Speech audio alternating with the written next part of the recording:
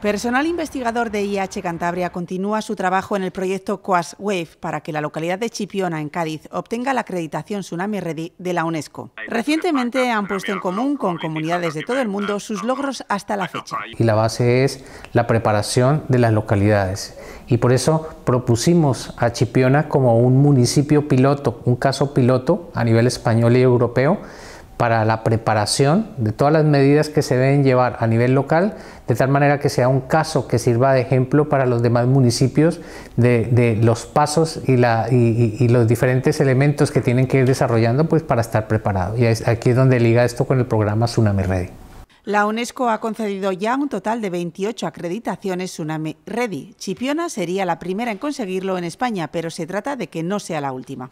Confiamos en que una vez se logre el objetivo y Chipiona obtenga la certificación Tsunami Red, pues sirva de ejemplo para otros municipios españoles para que sigan el, el camino de prepararse ante la posibilidad de un evento de tsunami.